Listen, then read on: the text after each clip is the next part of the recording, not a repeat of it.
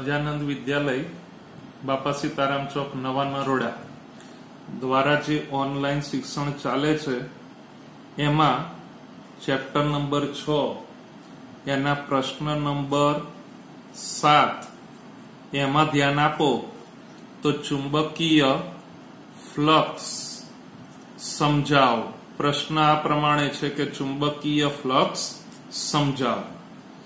હવે તમે આમ જોઈ શકો કે સમાન ચુંબકીય ક્ષેત્ર હોય. સમાન ચુંબકીય ક્ષેત્ર એટલે ચુંબકીય ક્ષેત્ર રેખાઓ એકબીજાને આ પ્રમાણે સમાંતર. ચુંબકીય ક્ષેત્ર રેખાઓ એકબીજાને સમાંતર. એટલે આ જે ચુંબકીય ક્ષેત્ર મળ્યું, એ ચુંબકીય ક્ષેત્ર એ સમાન ચુંબકીય ક્ષેત્ર કહેવાય. એટલે અહીંયા આપણે કહી શકાય કે એક સમાન ચુંબકીય ક્ષેત્ર. એક સમાન ચુંબકીય ક્ષેત્ર. એને આપણે બી વડે દર્શાવીએ છે આ બી એમાં મૂકવામાં આવેલા મૂકવામાં આવેલા એવા એક ક્ષેત્રફળ એક ક્ષેત્રફળ ધરાવતું એટલે એક ક્ષેત્રફળ ધરાવતા એક સમતલમાંથી સમતલ એમાંથી પસાર થતું પસાર થતું ચુંબકીય ફ્લક્સ ચુંબકીય ફ્લક્સ. એને આપણે નીચે પ્રમાણે કહી શકાય. એટલે અહીંયા તમે જુઓ તો આ જે ચુંબકીય ક્ષેત્ર એક સમાન ચુંબકીય ક્ષેત્ર બી છે. એમાં મૂકવામાં આવેલા એક ક્ષેત્રફળ ધરાવતા સમતલ. એટલે આ જે સમતલ છે, એનું ક્ષેત્રફળ આપણે એ તરીકે ગણીએ. તો એક ક્ષેત્રફળ ધરાવતું આ સમતલ અને આ ચુંબકીય ક્ષેત્ર બી એટલે એમની વચ્ચે થીટા જેટલો ખૂણો બન્યો કહેવાય, આ જે ક્ષેત્રફળ છે, એને આપણે એ વડે દર્શાવીએ.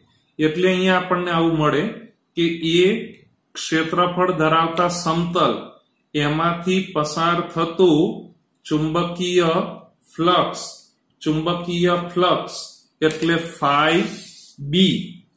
આમ તો ફાઈ વડે આપણે દર્શાવીએ ને, પણ આ ચુંબકીય ફ્લક્સ છે. જો વિદ્યુત ફ્લક્સ હોય તો ફાઈ ઈ વડે. તો બરાબર બી ડોટ એ. જો વિદ્યુત ફ્લક્સ હોય ને, તો આગળ આઠમા ચેપ્ટરમાં આપણે કમ્પ્લીટ કર્યું એમ ઈ ડોટ એ હતું. તો ફાઈ ઈ જો કે આ વિદ્યુત ફ્લક્સ એ પહેલા ચેપ્ટરમાં આવે છે, આ ચુંબકીય ફ્લક્સ એટલે ફાઈ બી બરાબર ઈ એને બદલે બી તો બી ડોટ એ હવે ડોટ છે, એટલે અદિશ ગુણાકાર થયું કહેવાય, એટલે એના માટે થીટા આપણને કયો મળે? તો કોસ થીટા એટલે બી એ કોસ થીટા તરીકે મળે. આને આપણે સમીકરણ નંબર એક કહીએ. હવે આ થીટા એ કોણ છે? તો થીટા એ ઈ અને બી વચ્ચેનો, એટલે કે આ બી અને એ એમની વચ્ચેનો ખૂણો છે. કોણ? થીટા. હવે સમીકરણ એક. એને આપણે થોડુંક જુદી રીતે સમજીએ. તો સમાન ચુંબકીય ક્ષેત્ર. એની જગ્યાએ જો અસમાન ચુંબકીય ક્ષેત્ર હોય, એટલે આવી રીતે આ ચુંબકીય ક્ષેત્ર રેખાઓ એકબીજાને સમાંતર ન હોય, એટલે એનો અર્થ એવો થયો કે એ અનિયમિત ચુંબકીય ક્ષેત્ર છે. એમાં આપણે કોઈ એક વક્ર સપાટી લઈએ, તો અહીંયા યાદચ્છિક આકારની આવી કોઈ એક સપાટી લઈએ છે અને તેના આડછેદના ક્ષેત્રફળને નાના નાના વિભાગોમાં વિભાજિત કરીએ અને એમાંનો નાનો એવો ભાગ એને અહીંયા આપણે પસંદ કરીએ, તો એ જે ક્ષેત્રફળ આપણને મળે, એ ક્ષેત્રફળ નાના એવા ભાગનું, આખું ક્ષેત્રફળ હોય તો એ, પણ નાના એવા ભાગનું ક્ષેત્રફળ એટલે ડી એ. આ કોઈ એક ભાગ છે એટલે એને ડી એ વન તરીકે ગણી શકાય. તો આવી રીતે વ્યાપક રીતે આપણે લઈએ તો એક, બે, ત્રણ, ચાર એવી રીતે આઈ સુધી લઈએ અપ ટુ આઈ સુધી. એટલે આવું અનિયમિત ચુંબકીય ક્ષેત્ર. એટલે બી આઈ અને એક, બે, ત્રણ. એટલે છેવટે આપણે ડી એ આઈ તરીકે કહી શકાય.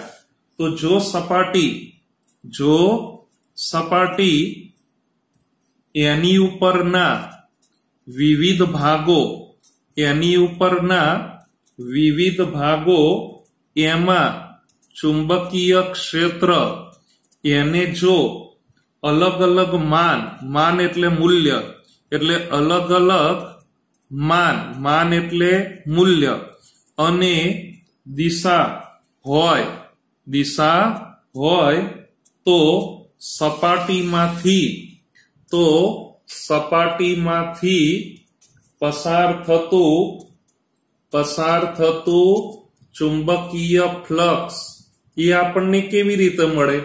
તો અહીંયા આપણે ચુંબકીય ફ્લક્સ એટલે ફાઈ બી. હવે બી ડોટ એ, પણ પહેલાને આધારે આપણે ગણીએ, એટલે B one dot D A one. એવી રીતે બીજા માટે આપણે ગણીએ, એટલે B two dot D A two.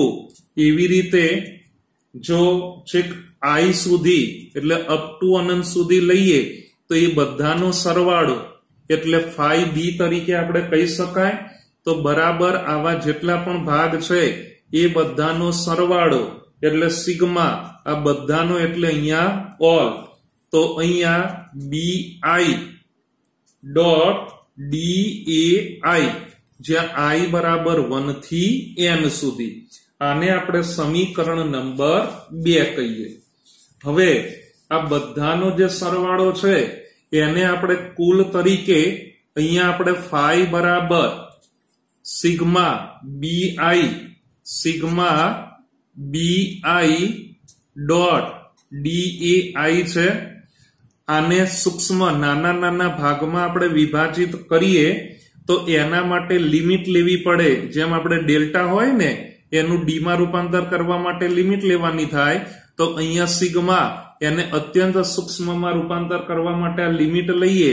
એટલે આવું જેટલું પણ ક્ષેત્રફળ છે આઈનું એ ટેન્સ ટુ શું હોય? જીરો એટલે અત્યંત સૂક્ષ્મ દરેકે દરેક ભાગનો સરવાળો. એને આપણે સંકલન તરીકે કહી શકાય. તો અહીંયા બી ડોટ અહીંયા ડી એ તરીકે આવે. આ આખું આપણને ચુંબકીય ફ્લક્સ પ્રાપ્ત થયું. આ ચુંબકીય ફ્લક્સ એ અદિશ રાશિ છે. ચુંબકીય ફ્લક્સ એ કેવી રાશિ છે? તો અદિશ રાશિ. કેમ અદિશ રાશિ? કેમ કે બે સદિશોનો અદિશ ગુણાકાર છે. ચુંબકીય ફ્લક્સ એનો સામાન્ય એકમ. ચુંબકીય ફ્લક્સ એનો એસઆઈ એકમ વેબર છે. વેબર, વેફર નહીં. તો એને ડબલ્યુ બી તરીકે ઓળખવામાં આવે. અથવા ટેસ્લા મીટર સ્ક્વેર કેમ કે ચુંબકીય ક્ષેત્રનું એકમ ટેસ્લા ક્ષેત્રફળ એટલે મીટર સ્ક્વેર એટલે ટેસ્લા મીટર સ્ક્વેર અથવા વોલ્ટ ઇન્ટુ સેકન્ડ છે. તો આનું પારિમાણિક સૂત્ર આપણે કેવું હોય તો પારિમાણિક સૂત્ર M one L two T minus two A minus one છે ઓકે